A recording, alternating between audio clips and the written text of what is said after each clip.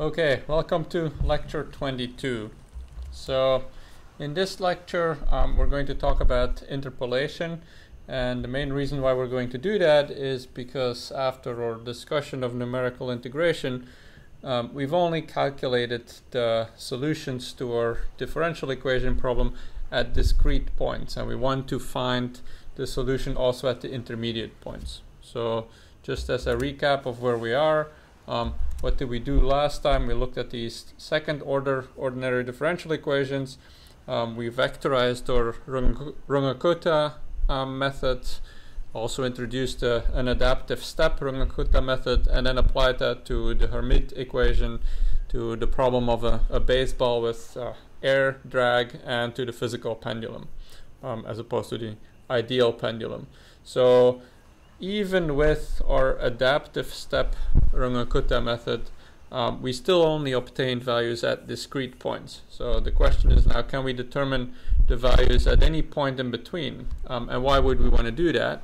Um, well, let's say we're trying to find um, the integral of our solution, or we're trying to um, integrate our solution maybe with another weight function applied to it, or if we're trying to find the minimum or the maximum of the function, then we might need to be able to treat our solution as a as a continuous function, not a function that only exists at the points that we've calculated it.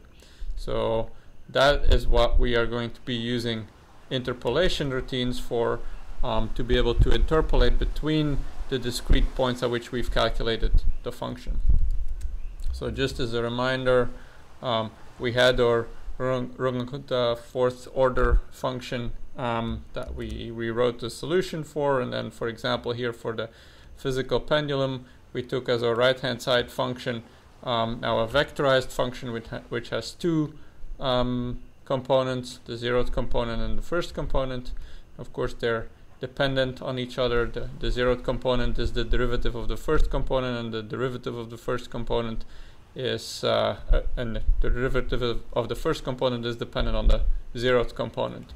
So when we solved this for our physical pendulum, we saw that the period of the ideal pendulum is at a smaller is at a smaller value than the period of the physical pendulum. And in this case, we started with an initial angle of uh, pi over 4, um, which is set here in, in y0. So um, what we're going to try to do here is find the actual period of the solution of our, our physical pendulum, which will be the maximum of our solution here. Um, and so to be able to determine that maximum using our, our methods that, we that we've used before, uh, we're going to need to um, be able to treat this solution as a continuous function. So in order to do that, we'll need to uh, develop interpolation where we can interpolate and find the values between each of the points where we calculate the um, solution to the differential equation.